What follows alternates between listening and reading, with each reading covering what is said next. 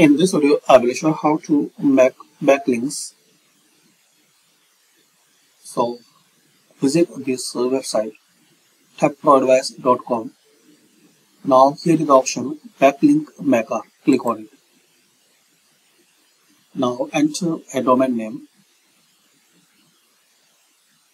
You can read description about this tool. A backlink maker is a tool that allows you need to create backlinks for a website or web page. So for example, I need to make uh, backlinks for this website. So type this one and click on submit.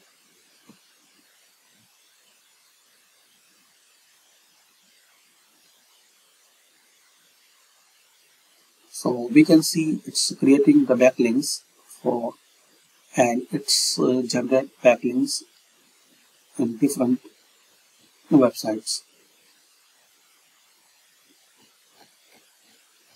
There are about uh, 48 sites and here we can see this running as success. Now once you visit this website so this way you can create backlinks using this website tool. Thanks for watching. Comment this video useful for you or not.